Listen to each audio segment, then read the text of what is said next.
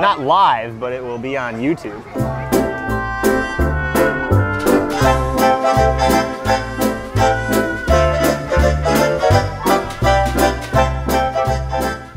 I'm at the Riviera Club on the north side of Indianapolis, and we're gonna run this waterproof, shockproof, dustproof, crushproof, and freeze-proof camera through these gates to see what comes out on the other side. Let's do this.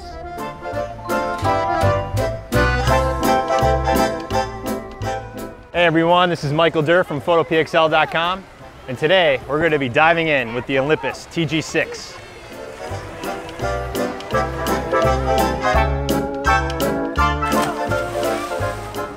As listed on the Olympus website, the TG6 is built for adventure.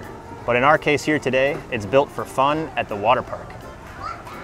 It's fun, it's, it's, I need a thesaurus. Uh, it's splash-tastic.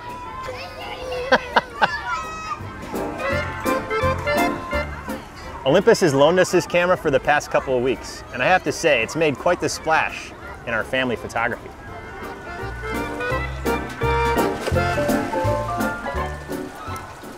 The overall design and ergonomics was a throwback to the point and shoot era.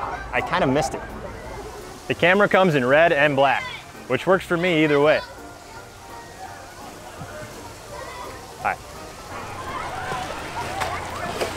It's easy to hold even underwater. The battery and SD card are nestled safely behind this locking door on the bottom of the camera. And there's also a safety lock on the USB and HDMI door on the side of the camera to ensure no water can get in. Just be sure to lock the doors before jumping in. It also has a quarter inch tripod mount for when you're doing your macro photography. The camera has a 12 megapixel BSI CMOS sensor and the f2.0 anti-glare wide angle lens was great, especially while shooting underwater.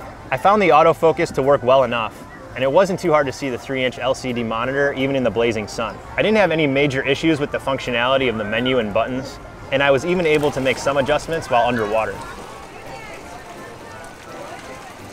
The camera can shoot up to 20 frames per second. And in the case of trying to capture things like splashes, dumps, and jumps, the more frames, the better. It also has a four times optical zoom, which is great for getting a little closer to the action. You can even get closer with an additional four times digital zoom, but I always try to avoid digital zoom unless absolutely necessary. I found most of the time I didn't zoom at all and I just got as close to my subject as I could. The TG6 captures 4K 30p video and full HD video at 120 frames per second.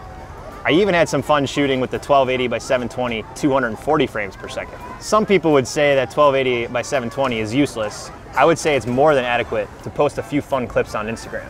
Yes, I even shot some clips vertically. This was the first Olympus underwater camera I have ever used. And if you're interested to see how this camera stacks up against other underwater cameras of the same class, our friends at DP Review did a great comparison video that is linked in the description below. Clearly Olympus has marketed this camera to the outdoor adventurer, but I would say anyone that spends time in the water would love this camera. I personally enjoyed shooting photos of my wife and son in the pool or on the splash pad, and the resolution of the camera would allow me to easily print some 8x10s to toss up on the family photo wall. What about just capturing? That's what I pay you for.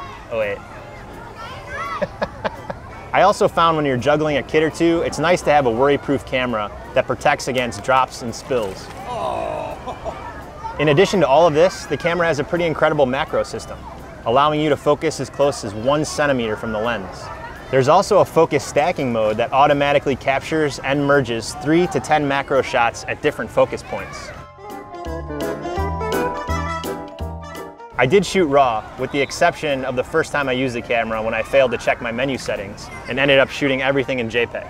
But guess what? The world didn't end and the images still came out great. And before Jared Polin loses his I did prefer to shoot RAW, and I always love to process my images on my desktop when I return home. I pretty much stayed in aperture priority, and I found in some cases when the water was flying, I just blindly shot hoping that I would capture something cool. And that's really where the fun came in. At one point or another, I'm sure we have all created great images on accident. One of my favorite things about this camera is you don't need a bunch of accessories or attachments for it. You can pretty much open the box and toss it in the water. I like the size and how it looks and feels. You don't always need to connect to your mobile device unless you want to offload your images on the go. There are some accessories for this camera, including a fisheye lens, which I do think would have been helpful in some scenarios. It can go places your mobile device can't. And comparing a camera like this to something like a GoPro or other action cam is really comparing apples to oranges. They're just different. Overall, this camera is.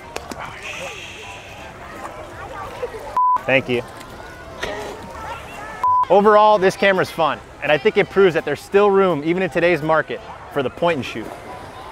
Thank you for watching this video, and be sure to visit photopxl.com, where we're enhancing your vision.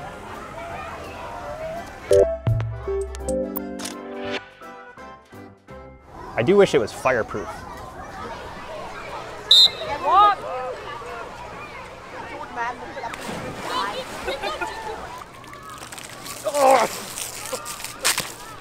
That actually hurts.